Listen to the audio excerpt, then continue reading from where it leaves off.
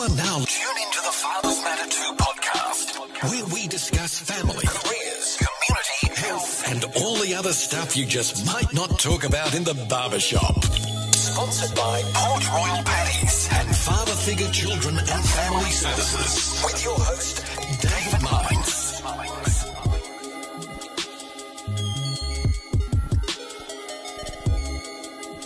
Fathers Matter Too. Okay, welcome back. We're here with Paul Barnes and Lillian Serunkuma, um, mother and father of the late, great Quamari Bar- Barnes. Um, and I can't, as I said, I can't not say his name without a smile on my face because he. he in fact, before we continue, one, my, my last memory, it isn't my last memory, but it's my, one of my abiding memories of, of Quamari was um, I'm driving down the road and I've seen Quamari with a few of his friends outside of a shop. It's clearly after school, and they're kind of like just you know having a chat. And um, he spotted me, but before he spotted me, uh, a, a, a young girl has walked past with her mum, Yeah. and I could see the look on his face with him and his friends, like eyeing her up, and you know, kind of like wolf, kind of like, like a little sly wolf whistle. And then he, t- he he looks up and he sees me and he's like, like kind of gets himself into shape quickly, comes over, he's like, "You alright, uncle? How you doing? You alright?" Yeah, yeah. I'm like, "What are you up to?" Yeah, I've just finished school, going home. But I just remember the way how he was just so respectful in um, in the moment, and just assumed that you know that position, but also It was the shortest one at the whole kick as well, I bet, innit? hundred percent. You're like, what's this primary school kid doing with all these secondary secondary school boys? But yeah, yeah, um, but yeah. Just let's let's move the conversation on, and um, I want to talk about um, post Quamari's passing. Yeah. Um, we know that there was a GoFundMe page set up, Yeah. um, which I know wasn't set up by you guys. It was set up by a family friend. By my my good friend and Yeah. his godmother, Sasha Mitchell. hmm Um, she was in Canada and didn't know what she could do to help from where she was. Mm. So her initial thought was, "That's it. I'm going to go and do that." And obviously, I'm like, Yeah, I was just thinking. I was going to ask, what was your what was your I was just like, and then she was like, Lillian, I just couldn't think of what, how else I can help, and Yeah. that was the only way. And in actual fact, it was a blessing in itself, Mm. and also, even more, well, we got even more support from the community, not just financially, but they heard about what was going Yeah. on. So, yeah? It, for me, it was phenomenal. I mean, yeah, I've not seen anything ever like that, and I'm not I'm not the oldest guy in the world, but I've Mm. been around a little while in in in that this community, our community, yeah, or that specific community, and I've not seen anything like that. yeah, The the the the. the the, not just the money, yeah, and, and look, let me tell you how much I know it touched people. I went to work yeah, the next day. mm, How I went to work, I don't know. I was no use to anyone. mm, but obviously it was in the news. And when I told the people in the office that that was my friend's son, Yeah. They straight away wanted to help. Yeah. And these are people who know don't know This this is They don't know exactly you. I, I get letters from people who just they're reaching out. Yeah, Some they just want to let you know that you know they're just so sorry that you're going Mm. through this, which means a lot, especially when you go to visit him and there's a note left by his Mm. graves. Um, his Yeah, resting see, a few notes left by his grave. so- Really? Yeah, Mm. so There's one from a lady. Where did she come from? I Like, it's countryside. yeah, like, was Really it far. Somerset or somewhere like that? Oh wow. yeah. So she's come down, she's And- asked clearly Yeah. where is that plot and Yeah. found She's it. left a letter Wow. Yeah, by the grave. Wow.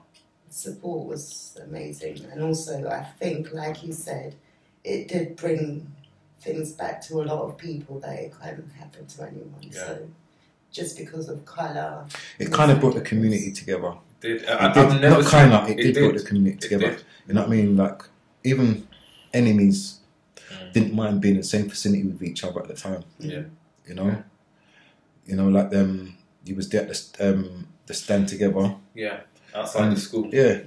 Look how much people was outside there. Yeah. And there was people there who didn't, who didn't, there's a bunch of boys who didn't like the next set of boys. Mm. You know what I mean? But because of, The situation. Yeah, even that the, the standalone um, Yeah. that was arranged by Verena a lady I'd never met before Mm. and ironically her daughter happened to have gone to the same, Same school school, as okay. my my girls Oh, okay. but um, she just took it off her own back and decided that she wanted to do something and that was amazing. It so did- it it wasn't did. even done by a family member. That Yeah. was community support from Mm. how I see it. It, it, it truly was something I've never seen, and not you know, and it, I used to go to school with Verena still, even though I was a lot younger than her. yeah, Well, not a lot, but and I think on a on a on a downside to that is that you wish we could do this For all the time for better for, reasons. for living causes, for Mm. causes that are going to help us yeah, better ourselves and who is here. yeah. And I, I take nothing from anyone Mm. who helped and supported because that is fantastic, and we should be doing that much more. But how about imagine if we could raise those type of funds Mm. in that type of time Yeah. for something positive?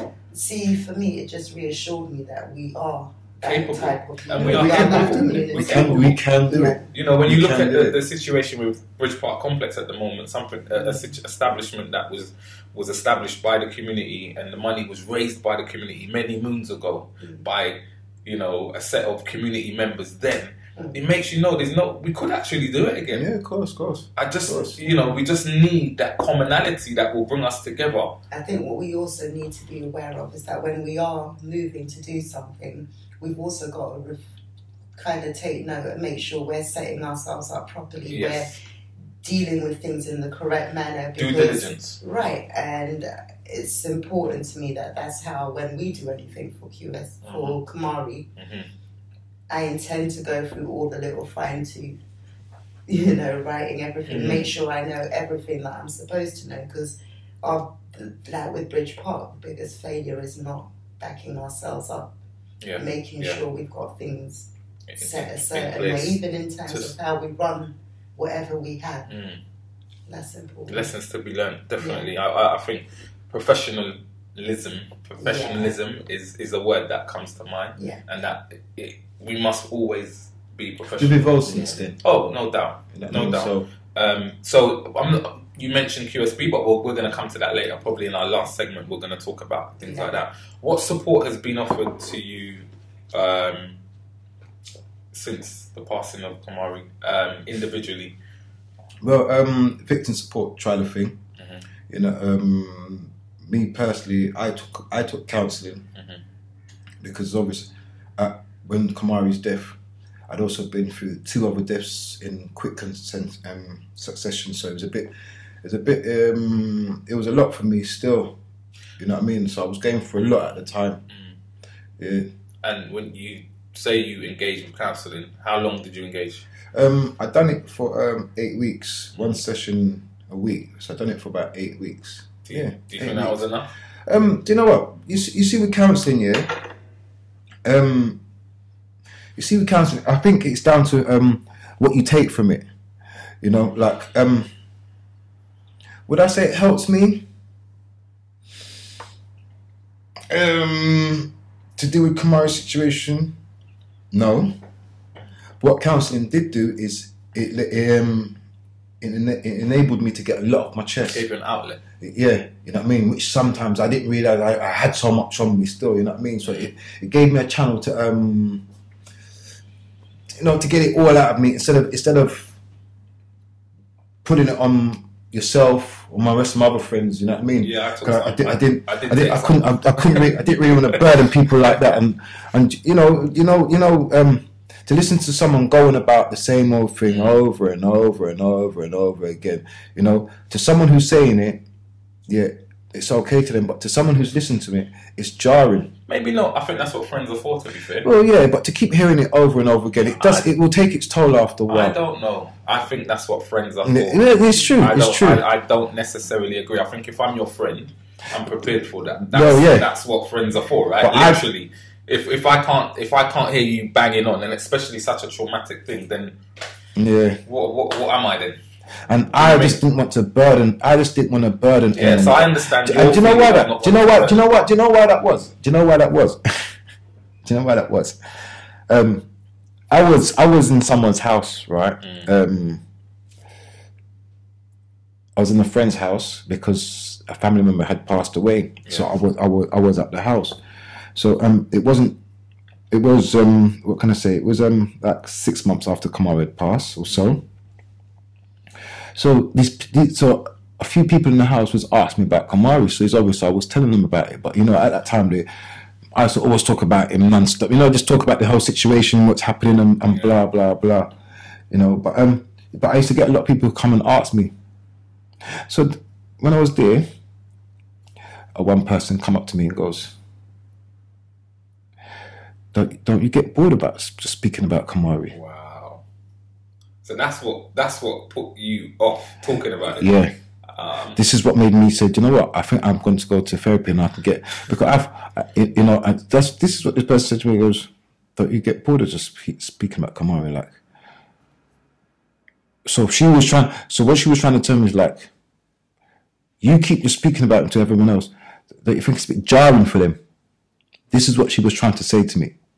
You get what I'm trying to say? And I feel like that's someone who Well, I, I, at the time, at the time, I don't think she realized what she's. I mean, maybe she didn't. I don't know. I'm not sure the context she meant it in, but it doesn't. I wasn't really meant to say the sex real. I just meant it to say yeah, because I, I didn't even think it was a female. I, didn't, I didn't think it was a female. Actually, I thought it was. You know a what I male. mean? I'm But actually, then again- quite, I'm, then- then I'm actually quite surprised a female said that. So I'm wondering if the context is right because I can't understand why Mm. you would say that knowing that it's about the death of your son. Like if we were talking about a car crash and you smashed up your car and you kept talking about your, your, your mashed up car, then Mm. I could get someone making that comment to you. But your son, like you're entitled to talk about this boy for the rest Well, of your life, every single day. So, so from that, so when she said that, you know, I didn't say anything else. Aye. I kept quiet. and I said, you know what? That's that's what I pushed think, you to, to go I to think I'm gonna, I think I'm gonna phone the victim support and take this counselling up. Well, they say that God works in mysterious ways, and Yeah. maybe that was something that needed to get you to counselling. Yeah, yeah. Um, and and let's I'll work on that premise because I think counselling is a good thing. Yeah, it, it was, as it, was- a- it was good. It was good. It's, as a community, okay, I think that it's something that we. Well, I know as men. Let's talk about men. Men do not Mm. do enough. to express themselves. we look at the suicide rates of men. It's an that's an epidemic too. Um, it's because we don't talk enough. Counsel will be good for things like that. hundred percent. So I think that you know what. Let's never mind what how, how you got there. I'm not sure about that comment, but you know what?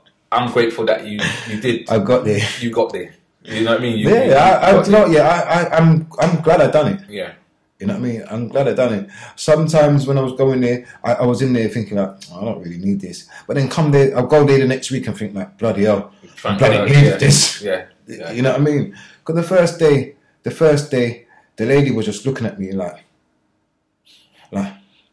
don't you think you've been through a lot? yeah. I'm like, it, I don't know what you see as a lot, but that yeah. was like it is was it like is it? that was like if we got used it was deaths from it was three deaths from August to January, right? Yeah, And that was three close three close people, three people who are in your significant in my life. Like I mean, like Yeah. people who are very important in my life. yeah. You know what I mean? So it was, it was, it was, it was a lot. Hello. And Lillian for yourself. It extended Oh, to a year to tell you the truth, you know, because another because it didn't. Because someone else, someone else passed away. Mm, Yeah, not a family member, but I do class him as a person who mm, played a big role in my life growing up. yeah, You know what I mean? yeah, yeah. Lillian for yourself. Have you Um, accessed any support? External. if I'm honest with you, I think I got my counselling through talking to the people that were around me, Mm. being able to express what I, what I was feeling. Yeah.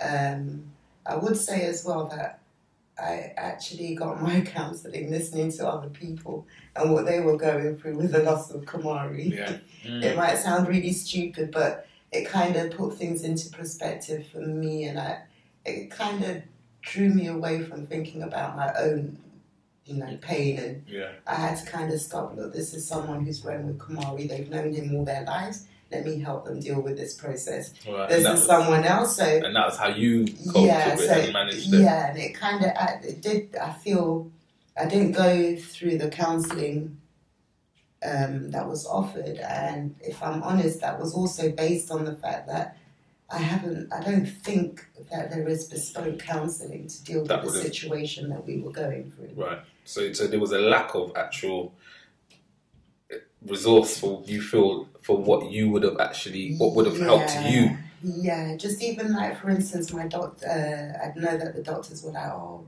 if you want counselling, we can refer you to this person, that person. And most of the people that were referring, they were referring me to, it wasn't in the area of what I needed What you what you had experienced. Yeah. Yeah. So that's something. And we do, and you know, like and we do yes when we get later on to the QB, QBS. So, and it, you know, I work in the field of kind of referring on to agencies like Yeah. that, and not just is there sometimes a lack of um, agencies because there are some agencies that are out there, Mm. um, but I feel like there's a lack of professionals who actually can understand and Yeah, and empathize relate. and relate to Yeah. me Yeah. and you. Yeah. Um, and so they've done all the qualifications and they've, but they don't actually, they've never really walked a day in our shoes. Mm. And so it's not the same. And so what they might find is really like, oh my gosh, well that's, that's, that's, that's a normal, that's a normal day for us. That's a normal week in our life. And so how they manage that and how they process it and sometimes offer support around it It's is, not really. it- it's, yeah, it's a bit left But the lady who counselled me, she couldn't because she's obviously she's not been through it. Right.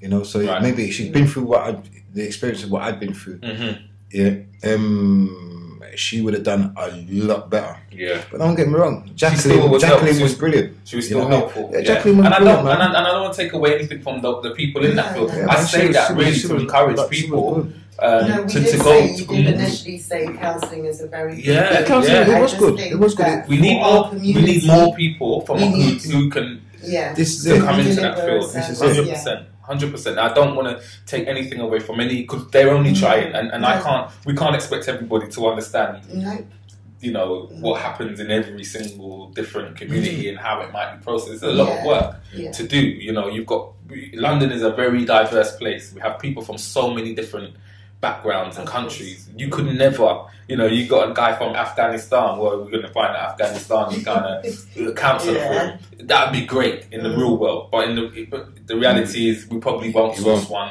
and if there is one, there won't so be maybe, enough. so maybe we used to, we also need to look at what is currently in place and maybe Yeah. adapting the training for them. Yeah. And you know, doing a lot of shadowing, like trying to be able to get our younger lot Mm. into that area and Yeah, and, that, and I think that's down to us as parents. yeah, would be to encourage. I mean, the last interview I did was with um, a guy called Martin Griffith, yeah, and um, he's a he's a trauma surgeon. yeah, You know, he would have been the guy if if if Quamari was in another era, who would have been trying to save Quamari's Yeah. life.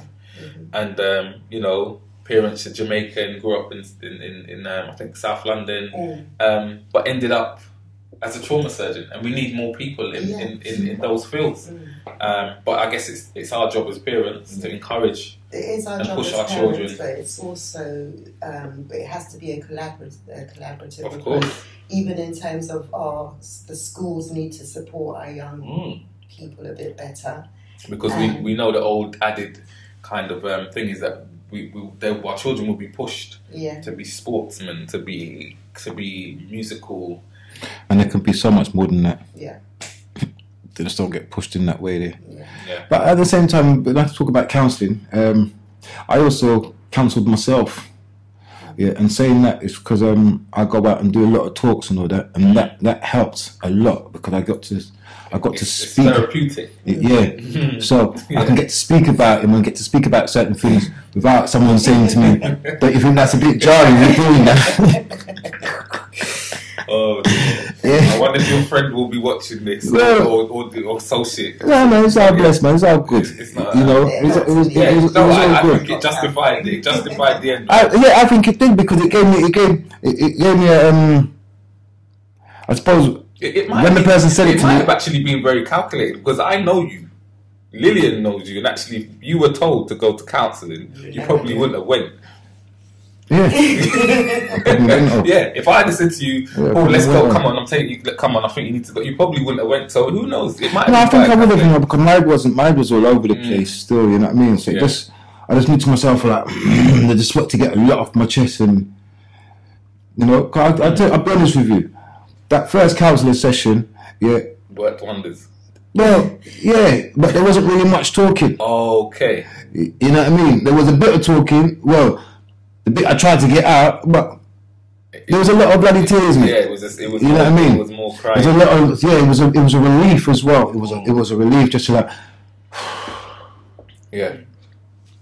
And it's important that you talk about this because I think that there's a, you know, we, I've got friends, I got lots of different friends from different backgrounds. yeah, and they'll see counselling as a as a as a Like- negative thing. Yeah. And so we have to, we have to um, be willing to talk. Mm. We have to be No man, to I wouldn't talk. I wouldn't class it as a negative. To me, it was it was I'd class it as positive. You know, Okay. So how, you know, I, I, I, one of the doc, there was a documentary on recently, what was it called? Ma- Um, what was it called? um, a year of British murders. oh, you haven't seen it? No. I mean, you don't like watching yourself on TV? I never watch anything on Oh. TV. Well, a So year, I'm not gonna go okay. go and try to watch this. So a year of British murders came on, and um, in that documentary, um, um, I think I remember hearing you say that, like this, like now you've just got you're being shoved into this place that you didn't ask to be. Mm. Um, how are you managing that? People are coming to you. I, I, I know as your friend, you know, people are. You've got radio stations calling you. You've got TV people calling you. They want to interview you, and I know as your friend that you're you're not an expert in this field, which is what you said. Is what you said, and I know it. But you've been thrust into this position. You didn't ask to be. No. How are you? How are you Um, managing that? And and um, Do you know what that um, it's it's not too bad. Mm. It's not too bad. Um, because I done a talk. I done a talk the other day at, um, at a college. Which do you know what? I enjoyed that talk because that Mm. talk, that talk, that, that talk was sorry, that talk was of a difference. You know, um, that talk was in proper engaging kids Mm. to find out what to try and get to the core or the heart of the um of the problem. yeah, Yeah, and um, so that was that was good. yeah, You know, sometimes I do certain some talks. I, I've wasted my time, Mm. but some things I do, it's not a waste. You know, and I would always keep, I would always keep doing, and I would always keep trying to do. You know, I know I've been thrust into a situation, but I've not been been asked to be thrust into. But um, as someone said the other day, he goes, he goes, Paul, do you know what's going to happen with you, mate? We're gonna like, we're gonna have to start trying to use it as an, an as an advocate for this situation here. You know. So I said, well, do you know what? That's cool. It's going to have to be someone. yeah. Yeah. And you're happy to. Well, that. well, yeah. At first, it was a bit overwhelming. At first, it was a bit like, whoa. But getting, you're You getting know, more used but, yeah. to- Lillian, yourself, I think I've seen you less so. Yeah. Um, is that a this- is that a conscious decision? Is it something you? Is there some method behind that? Are you? No, there's no method. Mm. It's just who I am. I don't nat- naturally go out there and want to be, Yeah, but at the same time, I'm more. I look at the paperwork. I look at all, you know, Mm. your regulations says. I'll look at those sort of things. Those are the things that are important to Mm. Yeah. me. I think for me, any kind of change that does come about, it's not going to be. It's just not going to happen without people um, challenging what's there and asking for change. Yeah. So that's more my avenue. We need more black dads to t- speak out. So we'll get Instead to, of- instead so, of the mothers. So you you pretty you've kind of gone for me in terms of the next question. Again, in the documentary, I heard you say we need more dads. Yeah, We need more up. dads to step up. What do you mean by that? What does that look like? Um, when I- when I when I say a thing like that, yeah. Um, all right, we know how it is. We know how road is. Yeah, let's not let's not beat around the bush. We know how road is, innit? Yeah, and you get some people there, man. They um. They have kids, but they don't know how to father or be a dad to their kids. They think it's coming to check them every every so often and give them. But you know, you got to interact as well. You know, it takes it does it does. You know, little things they have in a school play. How long is it? What's it going to take to go to their school? You know what I mean? To your child's school play, and you get some dad like, oh, I can't bother to do things like that, man. You know what I mean? You get some people out there who, who prefer to go and who, who wanna go and shot a draw more than do something else with their kids. You know what I mean? Priorities all wrong, and and and I think I, I was saying I say, I'm making that statement there. Yeah, um, we are a key factor in this epidemic You know what I mean? Yeah. Black fathers are a key factor in all of this. Yeah, and um, we just need to start changing our ways and how we how we deal with things. Yeah. You know, it's so easy to say, yeah, we just leave it to the women to start to, to deal with the kids and. Yeah. No, we need to. We need to. We need. We need. We need more interaction. You know, doesn't take much. Even to just take your kid to a football match or something like that. You know what I mean? They think if a if a youth wants his hair cut and they've gone and picked him up from his mum to go and get his hair cut at his friend's shop for a couple of hours and brought it back to his mum. Yeah, I've done my work for the week. You get me? Come on, man.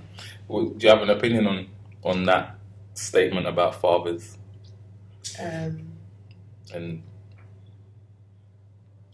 uh, I just think it's a it takes two, so it's not just the father. The parent, both parents need to be involved. If they're not together, they've got to learn a way of co-parenting Yeah. and putting the child 1st hmm Um, that's something that, as a community, we really need to start emphasizing. yeah and also I think there is there's allowance for fathers to not be involved and not Yeah. to do anything and Yeah. no nobody there's, a, really there's an acceptance of it yeah, Yeah. and, and and so one of the things I, I you know what I you guys know what I do.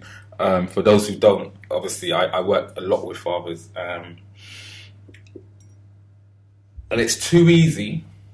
It's too easy to talk about, and let's talk. Let's keep it real, and let's just talk about black fathers here. Okay, it's so easy to say black men are this and black fathers are that, and black. It's it's, it's very easy to say that But we're not like that. uh, uh, but we're not. But what I'm saying is, there are so many factors, so many factors, and one of the projects that I have is called Black Fathers Matter Too. So this podcast is called Fathers Matter Too, but there's also a project that I have called Black Fathers Matter Too.